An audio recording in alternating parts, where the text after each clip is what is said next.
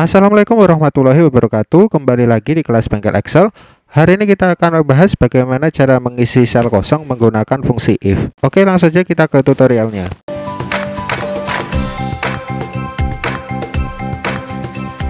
Oke sobat Excel di sini kita sudah siapkan datanya. Nah di sini contohnya kita mau mengisi sel kosong di bawah ini berdasarkan dengan posisi sekarang sobat Excel. Jadi contohnya di sini nanti untuk Reza Brahma Sakti itu adalah kepala kantor untuk jabatan saat ini. Nah, pengennya kita mau ada tulisan sekarang jika dia menempati posisi itu sekarang. Jadi di sini nanti untuk bagian dari posisi kepala kantor, maka saat ininya nanti akan terisi sekarang. Jadi di sini kita akan memanfaatkan fungsi if.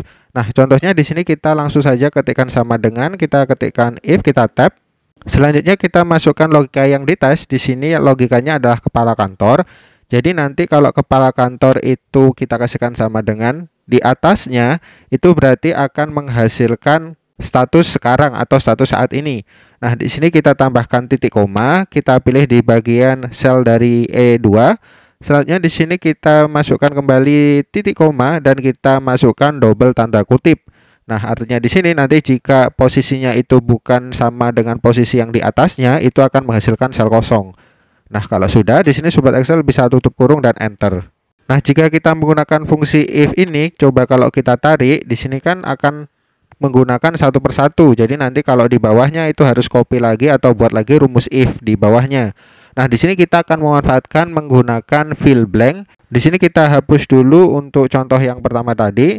Nah, kalau setelah kita hapus, kita bisa pilih atau seleksi daerah yang akan kita isi menggunakan fungsi if yang tadi Sobat Excel. Jadi ngebloknya itu mulai dari sekarang sampai dengan baris terakhir ya Sobat Excel. Jangan ngebloknya yaitu adalah kolomnya. Jadi kalau di sini kan saya klik di bagian kolom E.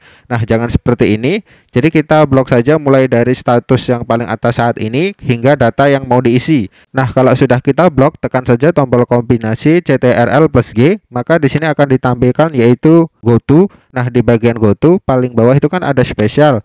Nah, itu kita klik saja. Nah, di bagian go to spesial di sini pilih saja yaitu blank. Nah, artinya di sini nanti kita akan mengisi bagian yang blank saja.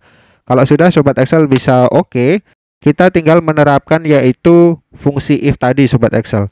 Jadi di sini ngetiknya bukan di bagian sel di sini ya Sobat Excel, kita ngetiknya di bagian formula bar yaitu di atas Sobat Excel. Nah sekarang kita ketikkan tadi rumus yang kita gunakan di if yaitu sama dengan kita ketikkan if, kita tab, nah kita ulangi yang tadi yaitu logikanya adalah D3 sama dengan D2 titik koma yaitu akan menghasilkan saat ini atau sekarang yaitu di bagian sel E2 itu kasihkan titik koma. Kita masukkan double tanda kutip. Setelah itu tutup kurung dan sobat Excel. Di sini tekan saja CTRL plus enter ya sobat Excel.